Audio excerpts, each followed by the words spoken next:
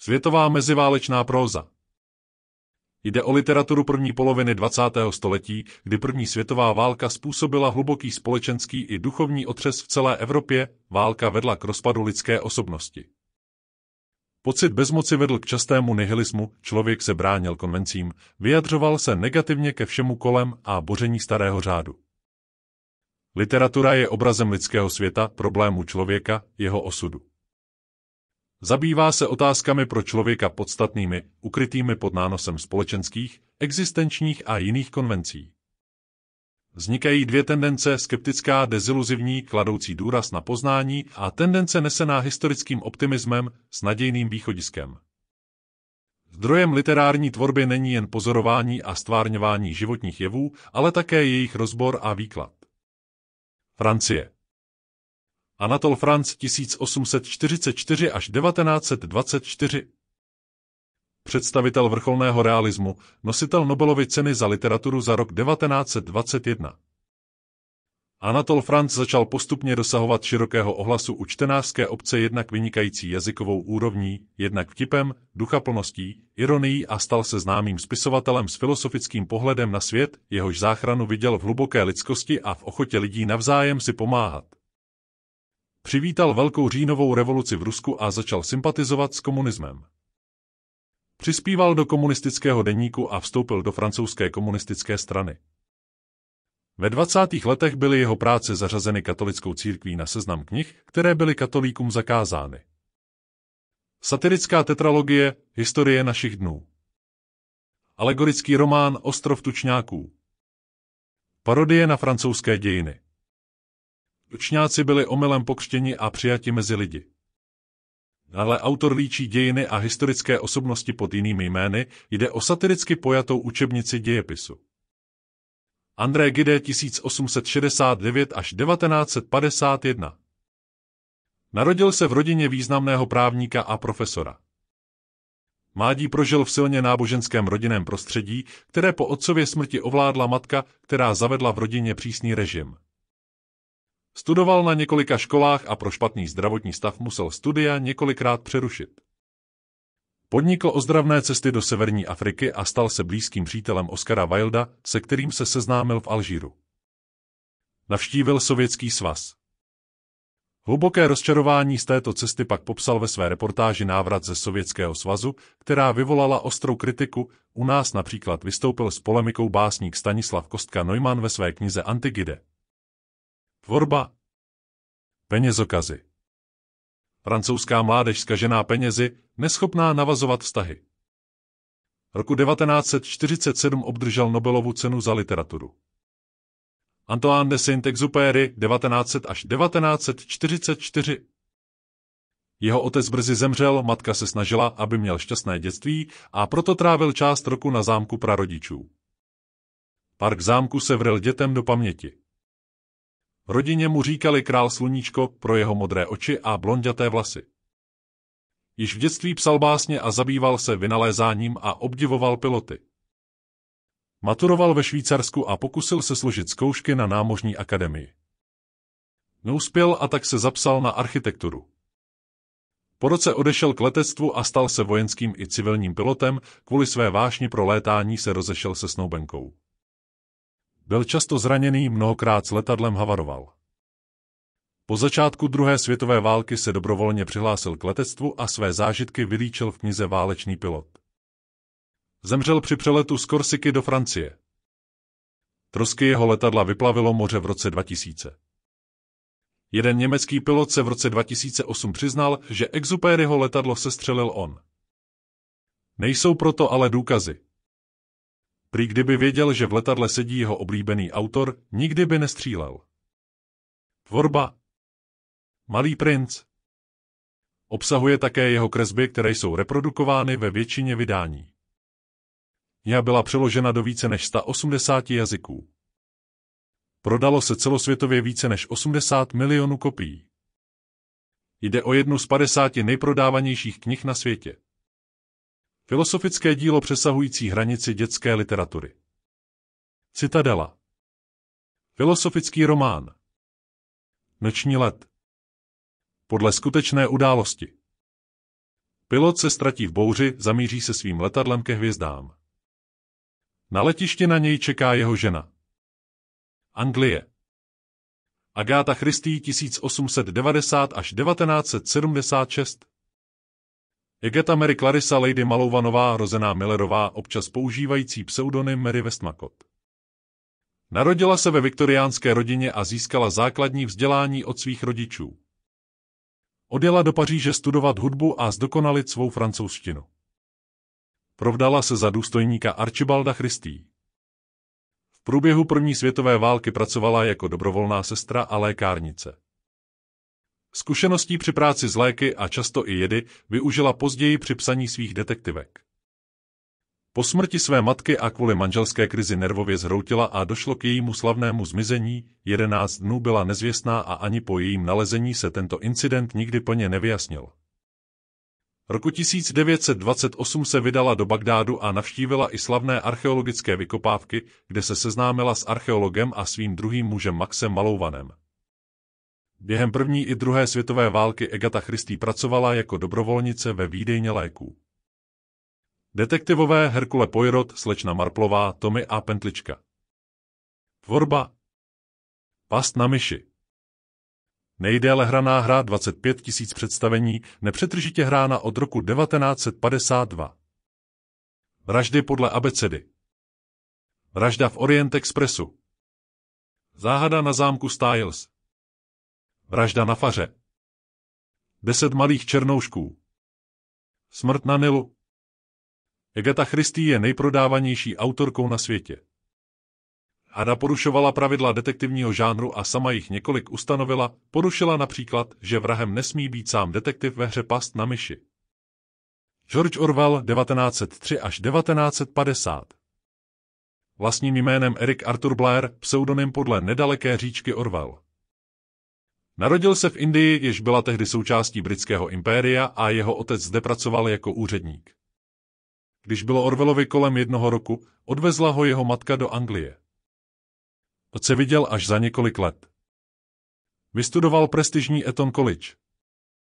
Jelikož mu rodiče nemohli platit studium na univerzitě, začal pracovat pro indickou imperiální policii v Barmě. Své zážitky popsal ve své prvotině románu Barmské dny. Orwell se vrátil zpět do Anglie, začal pracovat jako novinář. Nějakou dobu žil na ulici jako tulák a pohyboval se mezi spodinou. Jako dobrovolník zapojil do španělské občanské války, kde byl zraněn odstřelovačem do krku. Druhé světové války se neúčastnil kvůli vleklé tuberkulóze, na kterou později zemřel. Tvorba Farma zvířat Zvířata vyženou lidi z farmy, revoluce. Prasata jsou vládnoucí třída znázorňovali lidi jako byl Lenin, Stalin, troky, psi jsou tajná policie, ovce zase tupý dav, koně, pracující lid a slepice rebelové. Diktatura, revoluce, diktatura, dvě nohy špatné, čtyři nohy dobré. 1984 Velký bratr tě vidí antiutopický svět, Eurasie, Oceánie, Eastasie. Lidé jsou sledováni 24 hodin denně, musí milovat velkého bratra, hlavní hrdina se bouří a je nakonec zlomen. Herbert George Wells 1866 až 1946 Otec sci-fi Velmi chudá rodina, otec alkoholik, matka uklízečka, posluhovačka. Již v dětství prodával v krámku, miloval literaturu. Rodiče chtěli, aby se jenom vyučil, ale nakonec vystudoval gymnázium a stal se učitelem. Měl cukrovku, zasloužil se o výzkum této nemoci, byl vegetarián, neuznával testování na zvířatech a lidech. Vymyslel si svůj epitaf. Já jsem vám to říkal, vy zatracení blázni. Vynálezy, tank, bojová letadla, kobercové nálety, syntetické diamanty, laser. Tvorba. Stroj času. Vědec vynalezne stroj času a ocitne se v osmistém třetím tisíciletí. Svět je rozdělený na dvě rasy. Morlocky žijící pod zemí, kanibalové a Eloie, neschopní žijící na povrchu. Ostrov doktora Moraua. Doktor, který na opuštěném ostrově vytváří ze zvířat lidi. Neviditelný. John Ronald Royal Tolkien 1892 až 1973 Brzy osiřel, byl vychováván knězem, oženil se s Edith, která byla inspirace pro postavu Elfky Luthien, jeho nejlepším přítelem byl Louis, autor letopisů Narnie, učil na Oxfordské univerzitě, ovládal řadu jazyků, vynikající jazykovědec, znalec anglosaských literatur a staré angličtiny.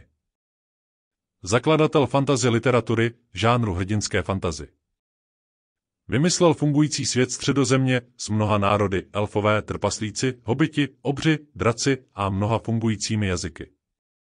Hobit. Původně příběh pro jeho děti. Pán prstenů. Společenstvo prstenu, dvě věže, návrat krále. Původně jedna kniha Tolkien nesouhlasil s pojmenováním jednotlivých dílů. Silmarillion. Legendy ze středozemě, inspirované severskými eposy Eda a Kalevala. Urinovi děti. Vyšli po Tolkienově smrti, uspořádal jeho syn Christopher. Nedokončené příběhy ze středozemě. George Bernard Shaw 1856 až 1950 1925 Nobelova cena za literaturu, zakladatel moderního anglického dramatu. Pocházel z Irska, jeho otec byl alkoholik, matka ho opustila a odjela do Londýna. George utekl za ní a do Irska se dlouho nevrátil ani na otcův pohřeb. Stal se literárním kritikem a novinářem, pokoušel se psát romány, ale nebyly úspěšné. Oceňován byl až za svoje dramata. Cyklus Hry utěšené a neutěšené. Tvorba My pana Sartoria Živnost paní Varenové. Pygmalion. Podle Ovidiových proměn. Profesor Higgins najde Lízu na ulici, vsadí se, že z ní udělá dámu, naučí ji správně mluvit a chovat se jako dáma. Nakonec ho Líza opouští, v dalším vydání byl konec přepracován na happy end. Filmováno jako muzikál My Fair Lady. John Galsworthy 1867 až 1933 Pocházel z právnické rodiny, po otci zdědil značný majetek, nemusel nikdy pracovat a pouze psal. Tvorba Sága rodu Forsitů Tři romány a dvě povídky. Osudy rodiny, která touží pouze po majetku, který je postupně ničí. Německo Thomas Mann 1875 až 1955 1929 Nobelova cena za literaturu za román Buddenbrookovi. Narodil se v Líbeku rodině obchodníka s obilím. Matka, hudebně nadaná, pocházela z Brazílie. Po otcově smrti a rozpadu firmy se rodina přestěhovala do Mnichova. Zde působil v pojišťovací společnosti, pracoval jako novinář, poslouchal přednášky na vysoké škole. První velké dílo, román Buddenbrookovi 1901, sklidil okamžitý úspěch a z něj se stal proslulý německý spisovatel. Oženil se s dcerou židovského obchodníka Katyou, s níž měl šest dětí. V roce 1912 napsal slavnou novelu Smrt v Benátkách, která pojednává o vztahu umělce ke světu, hlavním hrdinou příběhu je spisovatel Gustav von Aschenbach. Katia onemocněla tuberkulózou a pobývala v plicním sanatoriu ve Švýcarsku. Její léčba, zážitky ze sanatoria i obavy z možné smrti ho inspirovaly k druhému významnému románu z plicní ozdravovny Kouzelný vrch. S obavami sledoval hrozící nástup nacismu v Německu. Ve své řeči apel na rozum pronesené v Berlíně, jež vstoupila do dějin jako německý projev, varoval před touto hrozbou. V roce 1933 opustil proto s ženou Katyou Německo a uchýlil se do exilu ve Švýcarsku a v roce 1938 odjel do USA. V tomto období pracoval Mann na rozsáhlé románové tetralogii Josef a bratří jeho, napsané na biblický námět. Po druhé světové válce se vrátil do Evropy a žil ve Švýcarsku.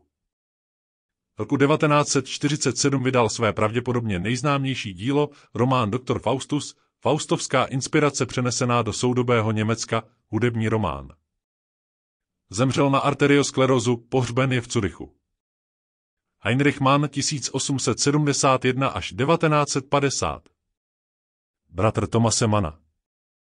Studoval v Berlíně a Mnichově. Byl vyloučen z Akademie umění a jeho knihy byly nacisty zakázány a ničeny a emigroval do Francie. Získal československé státní občanství. Od roku 1940 žil v USA, kde i zemřel. Protože byl československý občan, byly jeho ostatky převezeny z USA do Prahy a odtud po deset letech do NDR.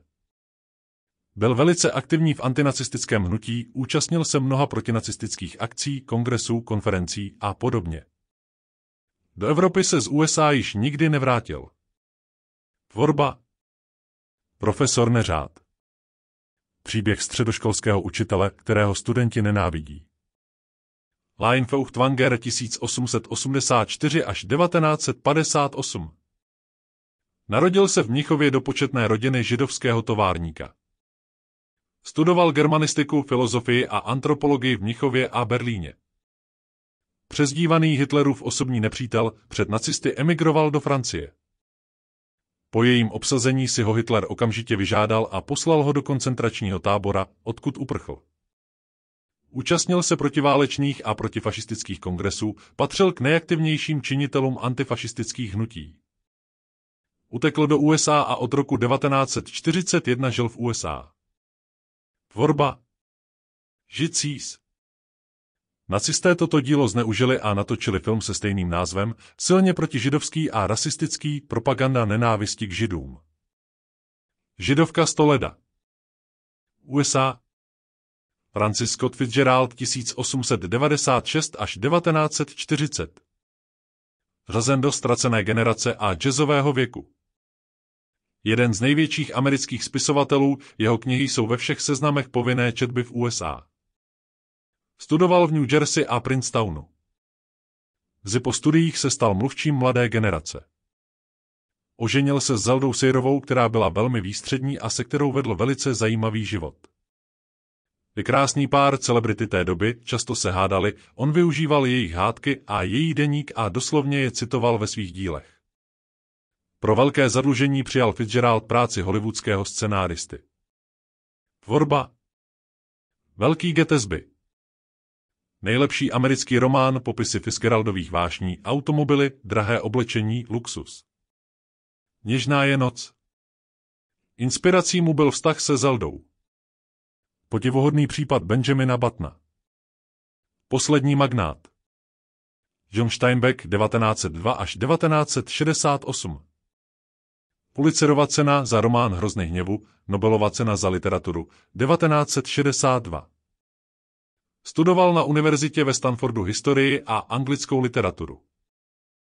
Potom se pokoušel uchytit v New Yorku jako novinář a spisovatel. Střídal různá zaměstnání, zkušenosti z tohoto období využil ve svých sociálně kritických románech. Tvorba O myších a lidech Příběh dvou přátel Lenny je postižený, má obrovskou sílu, rád se dotýká myší, štěňátek, ale svou silou jim často ublíží. Pracují na farmě, že na farmáře chce, aby jí pohladil po vlasech a Lenny její zlomí vás. Jeho kamarád ho zastřelí, aby ho ušetřil linčování. Na východ od ráje. Románová kronika vycházející z biblického příběhu o Kainovi a Abelovi zahrnuje události od války severu proti jihu až po první světovou válku. Román je pohledem do lidského nitra dvou nevlastních bratrů. William Faulkner 1897 až 1962 1949 Nobelova cena za literaturu. Představitel tzv. jižanské literatury. Pocházel ze staré jižanské rodiny. Narodil se ve státě Mississippi. Jeho praděd bojoval v americké občanské válce. Rodinné tradice a obrovské společenské rozdíly panující na tehdejším jihu USA, existence zbytků otrokářství i černožské spodiny, spory a násilnosti, rasové i sociální předsudky se staly základem jeho umělecké inspirace. Tvorba Divoké palmy Dvě povídky Divoké palmy a stařec Mississippi. Vojákův žolt. Reakce na první světovou válku, ve které byl Faulkner raněn. Odor Dreiser 1871 až 1945 Americká tragédie. Příběh muže, který utopí svou těhotnou dívku, aby mu nestála v cestě ve vztahu k bohaté dívce. Rusko Boris Pasternak 1890 až 1960 Narodil se v umělecké rodině židovského původu. Jeho matka byla klavíristka a otec umělec na Petěrburské akademii umění. Častými hosty Pasternakových rodičů byli různí ruští umělci. Studoval práva na Moskevské univerzitě, studoval krátce i v Německu. Za román Doktor Živago byl vyloučen ze svazu spisovatelů, hrozilo mu odebrání sovětského občanství a vyhnání na Sibiř. Na jeho obranu vystoupila světová inteligence. V Rusku směl román výjít až v roce 1988, do té doby bylo dílo kritizováno. Roku 1958 za něj obdržel Nobelovu cenu, které se na nátlak sovětských orgánů zřekl potom, co ji telefonicky přijal. No po jeho smrti přebral jeho syn Evgenij. Pohřben je u Moskvy v spisovatelském městečku Peredělkyně, kde žil v druhé polovině života. Jeho pohřeb se stal demonstrací lásky a úcty k svobodné tvorbě. Doktor Živago zobrazuje události 20. století v Rusku, první světovou válku a následnou revoluci, boje bolševiků a menševiků, bolševický teror. Ivan Bunin 1870 až 1953 První ruský autor, který získal Nobelovu cenu za literaturu, 1933. Bunin se narodil ve Voroněži jako potomek starého šlechtického, ale nepříliš bohatého statkářského rodu. Po absolvování gymnázia v Jelci již v dalším studiu nepokračoval a pracoval jako novinář v Orlu a jako knihovník v Poltavě. Svou literární činnost začal jako básník a jako překladatel. Navštívil Egypt, Palestinu, Indii, Ceylon, Turecko a Řecko. Hluboký zájem o východní filosofii a náboženství, zejména o taoismus a buddhismus, se pak výrazně odrazily v jeho díle. K bolševickému převratu v Rusku se postavil odmítavě. Uprchl na Krym a v bělogvardijské armádě se věnoval protisovětské publicistice. V lednu roku 1920 emigroval do Francie, kde se trval v dobrovolném exilu po celý zbytek svého života. Jeho tvorba však zůstala i nadále tematicky spojena s Ruskem. Ve svých dílech zachytil nenávratně ztracený život carské Rusy. Nezaměřoval se naději, ale snažil se předávat čtenáři pocity a dojmy a stal se tak opravdovým mistrem impresionistického detailu. Tvorba Míťova láska Příběh nešťastné lásky Míti a Káti po odmítnutí se Míťa zastřelí. Vesnice Poměry na ruské vesnici, zaostalost, chudoba, bída ruského venkova. Michal Šolochov 1905 až 1984 Oficiální ruský autor, komunistický spisovatel, představitel socialistického realismu. Pocházel z rostovské oblasti a na Donu strávil většinu života. Rodnému kraji zasaženému občanskou válkou i dalšími proměnami věnoval Šolochov podstatnou část tvorby. Studoval na gymnáziu a odešel do Moskvy. Vstoupil do komunistické strany, byl volen za člena ústředního výboru. Byl poslancem nejvyššího sovětu. Druhé světové války se účastnil jako válečný dopisovatel. V roce 1965 obdržel Šolochov za své celoživotní dílo Nobelovu cenu. Tvorba Tichý Don Čtyřdílný román zobrazující první světovou válku a následnou občanskou válku v Rusku. Rozrušená země Typický budovatelský román kolektivizace zemědělství, budování kolchozů. Osud člověka 1957 Humanistická novela stvárňuje nepatetické hrdinství obyčejného člověka Andreje Sokolova, boj na frontě, zranění, německé zajetí, hrůzný pobyt v koncentračním táboře, útěk. Andrej za války ztratil celou rodinu, nový smysl života nachází v péči o chlapce Váňu, poválečného sirotka. Příběh vyprávěný bez patosu, ich forma, nedramatický jazyk, intimní ladění. Michal Bulgakov 1891 až 1940 Narodil se v Kijevě v učitelské rodině. Jeho sourozenci bojovali v carské armádě proti bolševikům a po občanské válce emigrovali do Paříže. Sám jako polní doktor studoval medicínu, skončil na Kavkaze, kde začal pracovat jako novinář. I přes svou oblíbenost u stalinského režimu ve 20. letech nesměl emigrovat ani navštívit své bratry na západě. Poslední desetiletí svého života pracoval na románu Mistr a Markétka, psal divadelní hry, kritiky, povídky. Třikrát ženatý. V roce 1938 napsal dopis Stalinovi, kde požadoval povolení k emigraci, ale nikdy nedostal odpověď. Zemřel na vrozené onemocnění ledvin a byl pohřben na Novoděvičím hřbitově.